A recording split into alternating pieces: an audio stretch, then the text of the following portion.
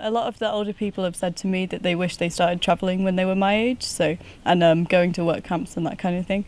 So um, I think it's quite good to start young, and also you've probably got more time to do it when you're young, because you don't have more commitments like jobs and you know a house and that kind of thing. So.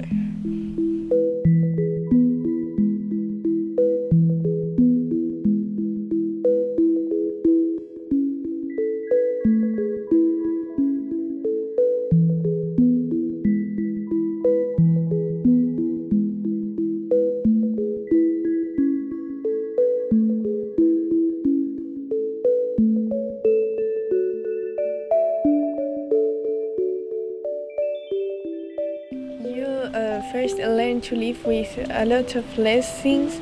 Then you realize that, for example, money is not important. You learn how to live in community.